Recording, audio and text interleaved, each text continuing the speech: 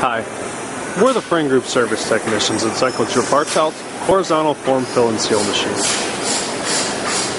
Before powering up the machine, it's recommended to read the manual in its entirety. The manual will be placed with the machine when it's shipped. The voltage on the Bartelt is currently set for 3-phase 60-cycle 480 volts, with an air consumption of 70 psi. We recommend a field service technician to assist with your startup and training on the machine.